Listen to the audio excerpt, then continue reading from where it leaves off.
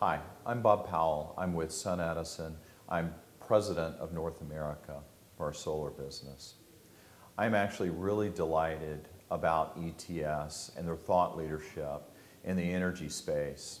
And the, the conference here that we've, uh, we've sponsored is a great example of the thought leadership, the information that's provided to, uh, to the public that really gets us to the transformative nature of energy and what I think solar is, which is right now at the cusp, the tipping point of really changing the energy economy.